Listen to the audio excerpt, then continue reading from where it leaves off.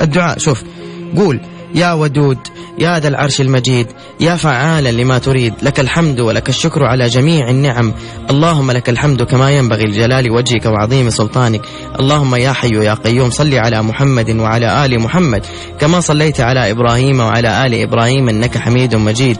يا رب يا رب. يا رب أسألك بعزك الذي لا يرام وبملكك الذي لا يضام وبنورك الذي ملأ أركان عرشك. يا مغيث أغثني يا مغيث أغثني يا مغيث أغثني ثم تذكر حاجتك. اللهم اقضي عني الدين اللهم فرج عني ما أنا فيه اللهم تمم لي أمور حياتي. بخير. اللهم اجعلني من الناجحين. اللهم إني أسألك رضاك والجنة. اللهم لا تشمت أعدائي بدائي. واجعل القرآن العظيم دوائي وشفائي. أنت ثقتي ورجائي. واجعل حسن ظني بك شفائي. اللهم ثبت علي عقلي وديني. وبك يا رب ثبت لي يقيني. وارزقني رزقا حلالا يكفيني. وابعد عني شر من يؤذيني. ولا تحوجني لطبيب يداويني. اللهم استرني على وجه الأرض. اللهم ارحمني في بطن الأرض. اللهم اغفر لي يوم العرض عليك.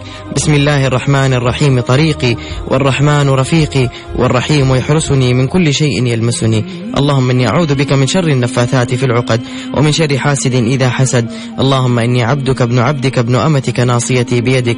ماض في حكمك عدل في قضاؤك. أسألك بكل اسم هو لك سميت به نفسك أو أنزلته في كتابك أو علمته أحدا من خلقك أو استأثرت به في علم الغيب عندك. أن تجعل القرآن ربيع قلبي.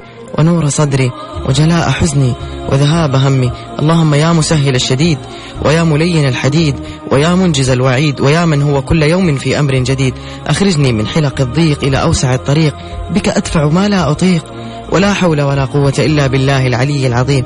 أسألك اللهم بقدرتك التي حفظت بها يونس في بطن الحوت ورحمتك التي شفيت بها أيوب بعد الابتلاء. يا رب العالمين يا رب ألا تبقي لي هما ولا حزنا ولا ضيقا ولا سقما ولا دينا إلا فرجته وقضيته.